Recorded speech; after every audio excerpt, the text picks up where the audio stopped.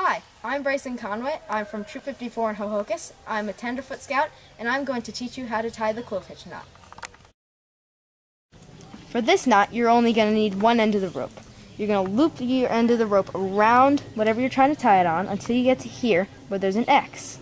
Once you see the X, wrap it around one more time till you have the end of the rope here and the X right here.